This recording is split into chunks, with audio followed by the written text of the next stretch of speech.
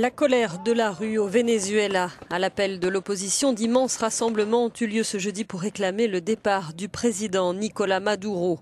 Des affrontements ont éclaté en fin de journée dans la capitale Caracas. Une soixantaine de personnes ont été interpellées.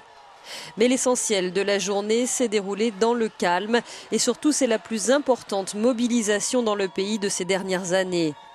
Environ un million de personnes y ont participé. L'objectif, obtenir cette année la tenue d'un référendum révocatoire contre le chef de l'État.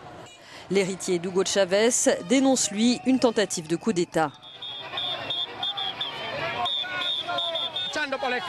Nous nous battons contre la pénurie, contre la faim qui sévit dans ce pays, l'insécurité, un gouvernement de voleurs, de kidnappeurs, de trafiquants de drogue, dit ce manifestant.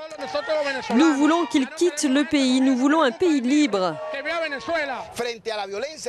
Ce porte-parole de l'opposition explique lui que face à la violence du gouvernement, ils opposent la volonté du peuple souverain.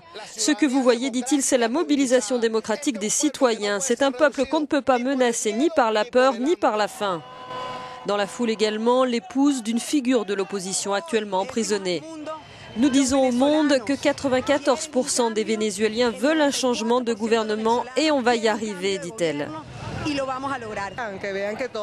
La situation est grave, nous avons réellement besoin d'aide, nous sommes en situation d'urgence totale, explique cette autre manifestante. La mobilisation avait valeur de test pour l'opposition, un test réussi selon ses dirigeants qui appellent à de nouvelles actions dans les jours à venir, comme l'explique notre correspondant.